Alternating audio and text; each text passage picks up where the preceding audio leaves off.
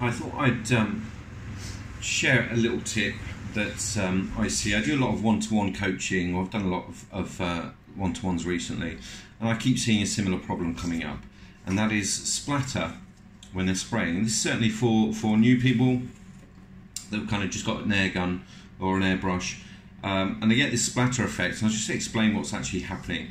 When you want, uh, once you've you've you know plugged in your airbrush, um, temperature cocoa butter, filled it in, um, I got everything ready.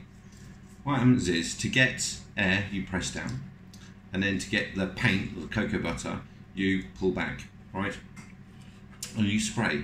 And then what I'm seeing a lot do is they just let go of it, and they paint, they push down, they pull back, they spray, spray everything that they want to, and then they just let go what happens is as the needle's for, uh, as the needle is coming forward, right?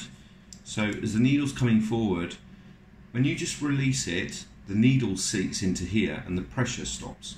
When you let go of it, the needle comes forward and it creates this little low pressure in here, and the tip fills up with cocoa butter or, or paint, as it were. So it fills up with cocoa butter. And then what happens is, is they spray, they stop, spray, you stop, spray, you stop. And as this butter builds up, it creates splatter on here. Now, if you wanted to create splatter, just turn down the pressure and spray as normal. The lack of pressure going through will create a splatter effect, right? The difficulty then comes is they think that the splatter is a result of the cocoa butter getting too cool or starting to set. So they grab a heat gun or an airbrush, or sorry, heat gun or a hairdryer, and they literally like boil um, and take all this cocoa butter that's in here out of its original temper.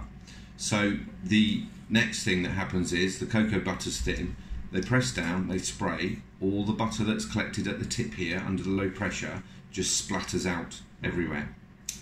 Um, quickest way to fix that, the best way to fix that is you press down, and you pull back and you spray and then you re release it forward and then you lift up right?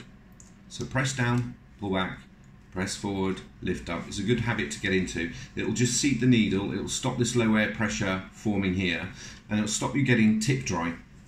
Um, not so not such a problem if you're colouring a mould all in one colour but if you're trying to do some detailed work because you've you know you've dialed down um, your controls to get a, a thinner uh, bead of, of colour.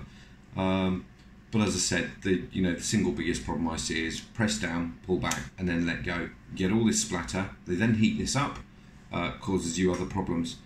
I hope that's helped.